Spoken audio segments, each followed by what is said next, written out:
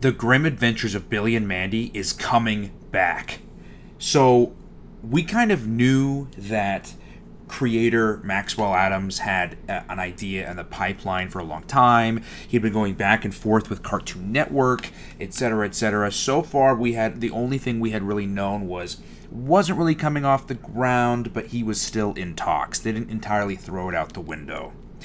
And now we have an update from voice actor Greg Eagles, who portrays Grim. And he says, back at my old hang, hashtag Cartoon Network Studios, about to do some grim stuff. Hashtag Warner Brothers, hashtag Cartoon Network, hashtag Grim Adventures of Billy and Mandy. So, it seems that they're coming back with Billy and Mandy. Now, I don't know exactly for what. I would assume it would be the movie that he talked about. It would have to be, right?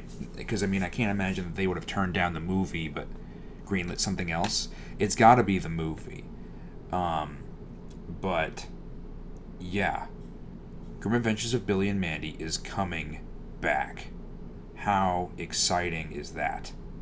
Um, again, I wish I had more to share, um, but that's pretty big news. I'm very surprised that Greg kind of leaked it like that. I, am very surprised at that, but um, kind of glad he did because now we're here talking about it. Um, yeah, I wish I could say more, but uh, that's pretty much it. What do you guys? What are your all's thoughts here? What do you guys think? Uh, comment down below. Let's talk about it. Let's set up a discussion, and um, yeah, I'll talk to you guys later.